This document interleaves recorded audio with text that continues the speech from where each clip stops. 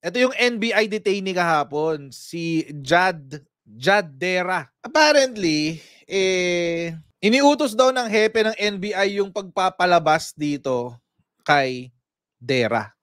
Siyempre, magbibigay po kayo muna tayo sa mga kaibigan natin sa Sendwave. Kung kayo po ay nasa US, UK, Canada, Italy, France, Spain, Ireland, and Belgium, ay uh, pwede, pwede na po magpadala sa Pilipinas nang wala pong remittance fees sa pamamagitan ni Sendwave. Ang gagawin niyo lang mga kutsero na i-download ang Sendwave app. Gumawa po kayo ng account at i-register yung bank account details at pwede pwede na po kayo magpadala sa GCash, cash pickup sa mga iba't ibang pawn shops at of course bank transfer sa iba't ibang mga bangko sa Pilipinas. At kapag ginamit nyo pa po ang promo code na Coach Jarrett, ay pwede pa po kayong makakuha ng additional $20 na libreng credit. Gamitin na po si Sendwave mga kutsero for all of your remittance need. Sabi pa ng GMA, no? NBI Executive Order DERA escorted on dates. So kahapon, iniisip natin, di ba? Sinabi natin kahapon, baka, baka naku, nakakumuha ng pera kasi meron dong bag na may lamang pera, tapos may baril, etc. etc. Which is actually confirmed. Meron talaga. Yun nga lang, hindi sigurado kung para saan yung pera, tsaka hindi alam kung magkano pa. I don't believe that one bit. Yung sinabi ng DOJ na wala pa raw silang impormasyon kung magkano yung pera na nasa black bag, It, it has already occurred six more times include um ex, uh, aside from this. So, pangpito na niya to, itong paglabas niya. Um, these include a trip to Tagaytay City, an overnight in Angeles, Pampanga, dalawang bisita sa, sa Batangas, at isa pang road trip kasama ng misis niya nung Father's Day. Grabe pala to. VIP pala to eh. Grabe. Ay, Sumailalim na sa inquest proceedings ang detainee na si Jad Dera at anim na NBI security officers matapos arestuin dahil sa paglabas sa selda. Pag-amin ng isang security officer, anim na beses na palang nakakalabas-masok ng detention facility si Dera. Nasa frontline ng balitang no? yan si Marlene Alcaide. No comment na lang. Si Dera. Bakit? dahil sa nangyari. Yan ang pakiramdam ngayon ng detainee na si Jad Dera matapos mabisto ang paglabas niya sa kanyang detention facility kahapon. Nakuhanan pa you know, sa CCTV uli. ang pagbubuffet ni Dera sa Makati noong Martes ng gabi. Kasama niya sa table ng isang babae at ang mga uniformadong jail guards ng NBI. Pero nanindigan siyang check up ang pakay pa. ng kanyang paglabas. Yun nga lang. Uh, magpapa-check up talaga eh, hindi lang natuloy dahil kaya kumain na lang dahil di po natuloy dahil wala po yung doktor. Komento ni Dera kung sino ang kasama niyang babae, pero posible itong ipatawag ng NBI para sa investigasyon. Kanina, isinailalim na sa inquest proceeding si Dera at anim pang NBI security personnel. Corruption of public officials sa isinampa kay Dera habang paglabag naman sa Graft and Corruption Practices Act at bribery ang isinampa sa mga security personnel. May mahigit isang buwan sila para magsumite ng kanilang counter affidavit. Eh, hindi naman natin mag-rule out na baka may nag-request na kumain muna bago bumalik. Uh, ang importante dito, hindi naman po siya tumakas bumalik naman po siya ng kulungan. Sabi ng Department of Justice, walang trip ticket ang ginamit sa sasakyan ng NBI para makalabas si Dera. Yun. Iniimbestigahan na nila ito at posible pa raw madagdagan ang mga kakuntsabang NBI officer. Wala pong na-report na trip ticket so we can assume na hindi siya sanctioned by any office order or any um, purpose other than to just leave, have dinner, and then come back. Hindi naman pwede yung nasa baba lang yung mananagot. Alam naman ho natin na hindi naman sila gagalaw kung walang basbas no, from a higher authority.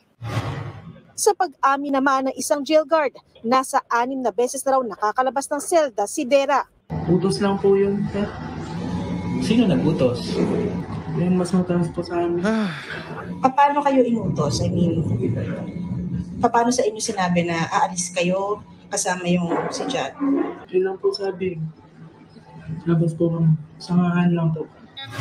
Sa ngayon, nakakulong daw sa magkakaibang selda si Nadera at anim na NBI security personnel.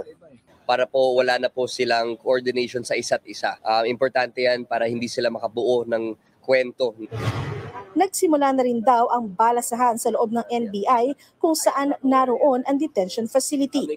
Itinanggi naman ni Dera na konektado siya kay suspended Congressman Arnie Teves na itinuturong mastermind sa Degamo Slay case. Pero yung yung Teves na sinasabi, yung, uh, yung parang lumaki yung story eh. Yung mga 35 million. Ah, wala pong katotohanan, wala pong katotohanan.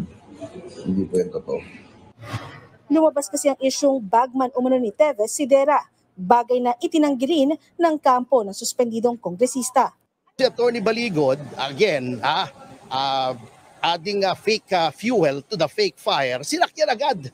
Sinabi, proof daw yan na nag-iispiya yung mga ilang ah, kawani ng NBI for Teves. Uh, ito yan, edi, ah, now he has an egg on his face. Ah, napahiya siya. In fairness, ah, we commend the ah, department, the spokesman and the secretary ah, for this time being circumspect at hindi nila agad pinatulan yung report Si Attorney Levito Baligod ang abogado ng pamilya Digamo na umaming siya ang nagtip sa NBI na nakakalabas-pasok ng piitan si Dera. Nagbabalita mula sa Yun frontline lang. So yung nag-report sa NBI, eh yung lalaki, yung abogado ng Degamo. Nalabas-masok na nga itong Dera. Sa kaya niya nakuha yung information, di ba? O di sa mga taga-NBI din. Wala na ibang makakaalam yan eh. Di taga-NBI din. Tsaka naman, pumunta ng hospital para magpa-check up. Pero wala yung doktor. No? Walang ER talaga. Pero kapag ano, usually kapag yung sakit, eh malalang malala talaga. As in, yun po talaga, bibigyan nyo ng, ano, ng permission para pumunta sa hospital. So according po daw sa investigation ng ano, DOJ, eh wala daw pong trip ticket. Ibig sabihin, hindi po sila dapat lumalabas in the first place. Kasi wala akong trip ticket eto na yung mga naganap. Tinanggal na yung head ng Security Management Office. Ayan, Security Management Section. The NBI assures the public that the organization will not condone acts of betrayal of public trust. The chief of the Security Management Section was already relieved from his post pending the investigation of the case. So the Bureau said in a statement on Wednesday, rest assured that the task investigators will thoroughly, thoroughly look into the bottom of the incident, including the possible involvement of other personalities, and will immediately file the appropriate criminal and administrative cases. Which already happened. Ang bilis ha. May kaso na na inilabas kanina o 9.05 p.m. Fresh na fresh. Raps filed versus Dera and six NBI personnel over midnight ride. Ayun na pala tawag dyan. Dera was charged with corrupting public officials under Article 212 of the Revised Penal Code. Tapos yung mga yung mga what do you call this? Uh, involved yung anim. Uh, kinasuhan naman sila ng violation of the Anti-Graft and Corrupt Practices Act and infidelity in the custody of prisoners were filed against the six NBI guards. So I just want to emphasize na itong pangyayari na ito has revealed that there is there is this connivance between certain people in the det- in detention and those in the NBI that allow for them to temporarily go out of the detention center and come back in. So this would not have happened if there was no connivance. Kaya we are hell bent on making heads roll for this incident. This is unacceptable and we will file the necessary disciplinary actions and the other cases that this may warrant. Alam niyo ang tatamaan dito? Ito na nga, nag, tinang, ano na nga siya, nakasuspend na nga siya. Ang masaklap dito, mga kutsero, eh kapag ano, si Hepe ng Security Management Section, syempre plantilla yan. Hindi naman yan magiging Hepe kundi yan plantilla eh. Pag napatunayan na meron siyang ano dyan, involvement, eh yun lang. Meron ka ng civil case, may administrative case ka pa. Hindi ko alam kung paano to lulusutan ni Fuedo. Kung meron man siyang nagawang mali, aminin na lang niya. Kung wala talaga siyang nagawang mali, eh di ano na lang, di ba? Paglaban niya yun. Ito pa sabi nung mga ano nung isa sa mga anim na nahuli. Sa Public Attorney's Office, sana matulungan niyo kami na ipaglaban kung ano po yung totoo. Hindi kaming handa kam, handa kaming makipagkoordinas kapag-koordinasyon, sabi ng ano. Sabi ng isang guard. Ang problema ganito, tinanggihan na sila ng PAW. Oh, PAW declines assistance to NBI security officers tagged in detainees sneak out.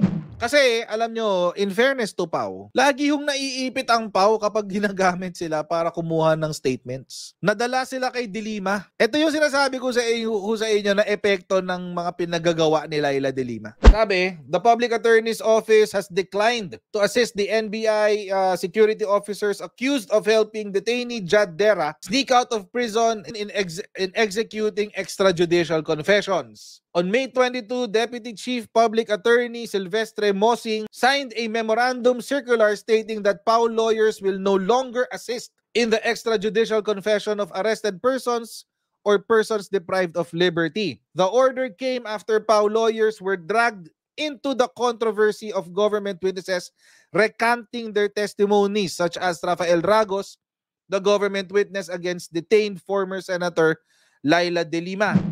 Kawawa naman ang Pau. Nasisisi. Kaya hindi mo rin masisi ang ano, ang Pau kung dala na sila. Ay, nako. Di ba? Kainis. So, God bless all of you and I'll see you next time. Bye.